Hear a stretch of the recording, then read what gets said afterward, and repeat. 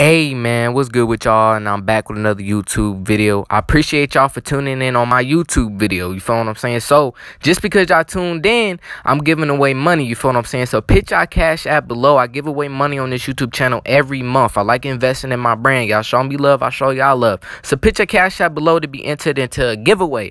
But without further ado, let's get into today's video. So, man, Billie Eilish recently posted a TikTok of her, you know, dancing, you feel me? And she was showing her cleavage area. Like her cleavage area was not really, you know, covered up. And you know, all the simps, you know, all the, you know, all the dudes, all the girls, and you know, just people was getting hyped about that. You feel what I'm saying? And it started it's starting to go viral on TikTok. So, you know, I gotta report on this. I'm a news channel. I gotta report on this.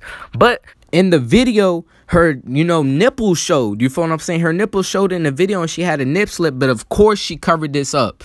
You feel what I'm saying? Of course she was gonna cover this up. She just not finna, you know, let her, you know, her cleavage area just show all the way. But everybody was going crazy. People were saying, you know, this uncensored version of it on the internet somewhere.